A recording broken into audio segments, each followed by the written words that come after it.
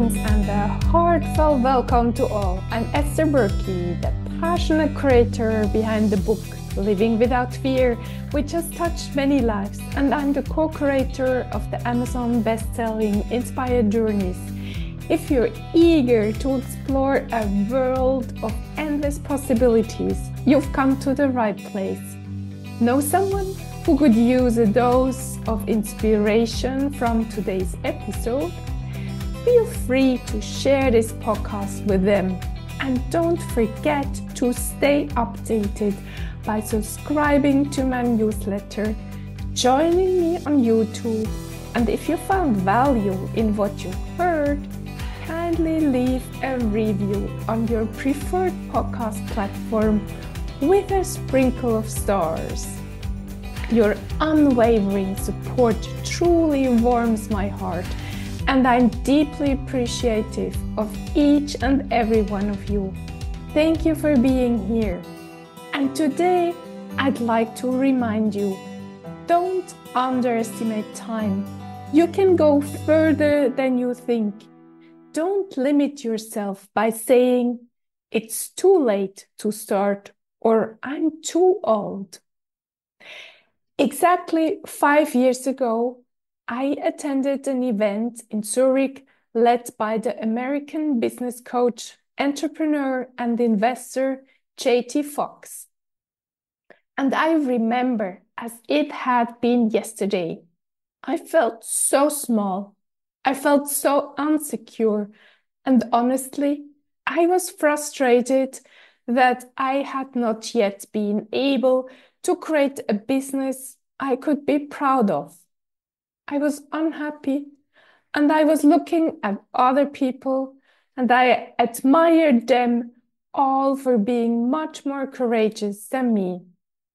Last week, JT Foxx came back again to Zurich for the same event. It has been the first time after COVID, and I knew I needed to go again. I sat in his audience and I felt so different, totally different. I was immensely grateful and I felt so proud of myself. Why? Five years ago, I had started writing my book, Living Without Fear, but I was at the very beginning of my story, and the second part of the book, the 55 short texts about mental health, had not even been born at all. Five years ago, I would not have dared to dream of how my life would be in five years into, into the future. Imagine the same can happen to your life, to your dreams. Believe me. And that's why I want to inspire you today. Don't stop believing in yourself and don't hold back with starting the thing you've always dreamt of. Five years ago, I knew I needed some guidance.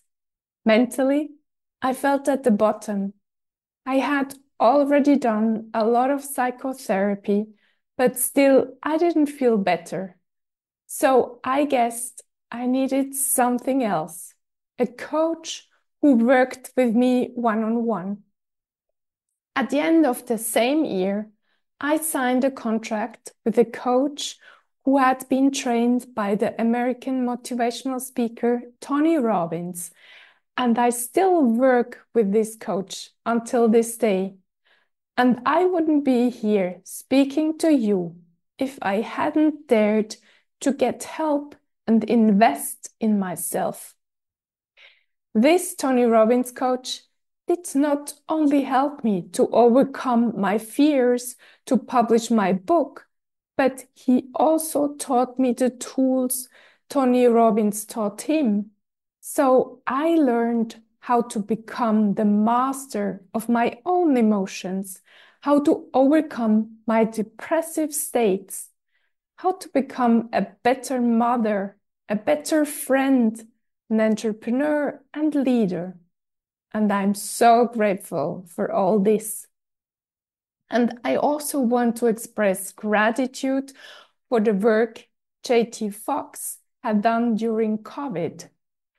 During the first weeks of COVID, while all other American speakers and coaches had been silent, JT Foxx started free teachings, one hour a day from Monday to Friday. And he was also the one who had inspired me to start this podcast, Living Without Fear. One day he explained how easy it was to create a podcast and upload it to the app Anchor, today called Podcasters, who diffused the content on many more podcast platforms such as Apple or Google Podcast. JT Foxx said, You don't need expensive equipment. You can use your phone and the microphone of your headphones. That's it. I believed him, and that was the very beginning of my first podcast episode in spring 2020. When you go back to my first episodes, you can hear my voice trembling. I was uncertain. I was so afraid of criticism. But I kept on going, also thanks to my friend Riham 8 and many others, and maybe you who has been listening since the very beginning. I pushed myself out of my comfort zone. JT Foxx and my Tony Robbins coach, who two years later has written the foreword to my book, Living Without Fear, encouraged me on my path.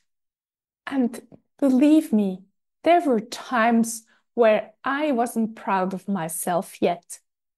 I was impatient or I was thinking of giving up. But I kept on doing, and I don't regret it any minute.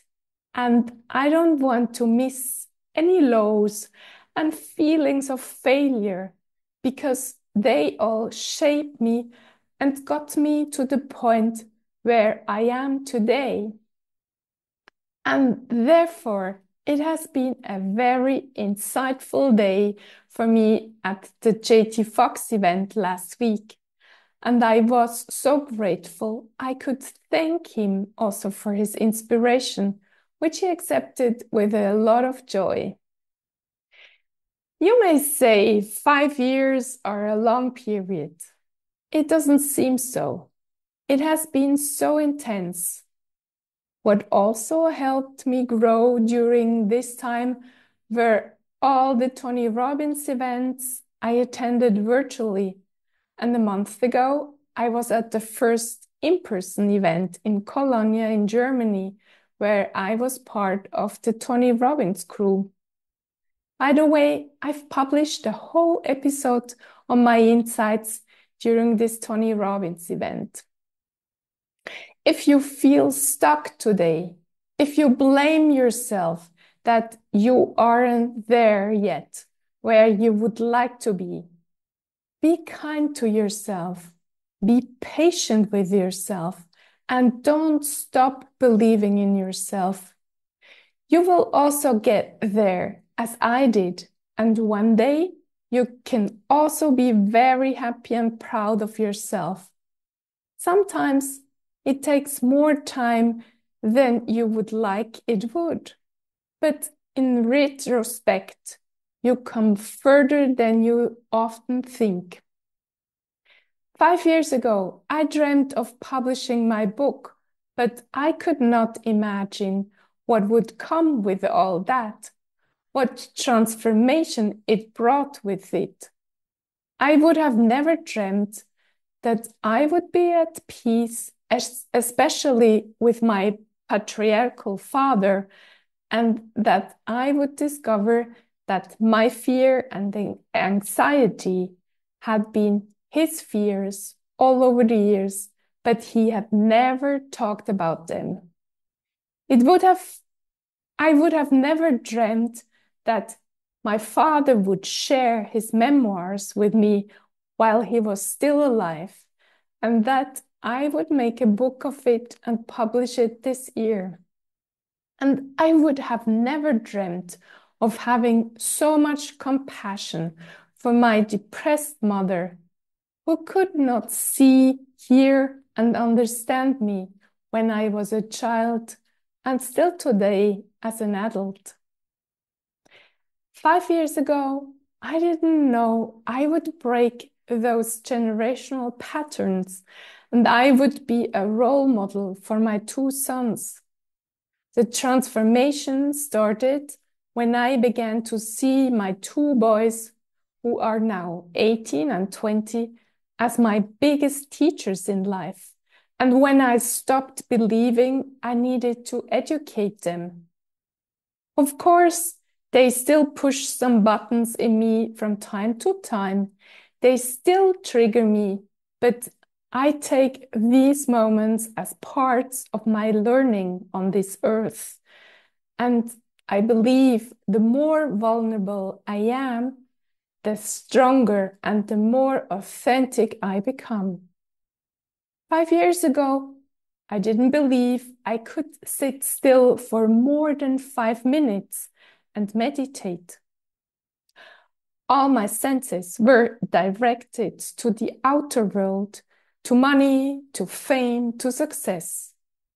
I could not imagine that there is a much richer inner world I would discover step by step, and that this inner work would help me transform.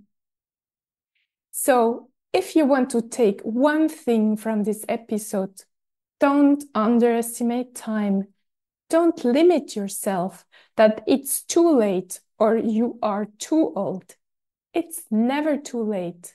If you feel stuck today, it is because of you and the limitations you create in yourself.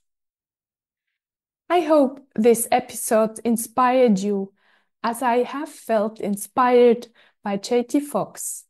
And if you think you need help and you want to get coached by me, book a call with me. Use the coupon code TRANSFORM now to get a free discovery call. I also enjoy hearing from you what you've learned. Please share your thoughts on Instagram or YouTube. Thank you, dear listener, for spending your precious time with me and being open to transform your, life. And I cannot repeat it enough. In case you still feel worthless and nobody seems to like you, I tell you, you are amazing. I love you. And you are a gift to everyone who crosses your path.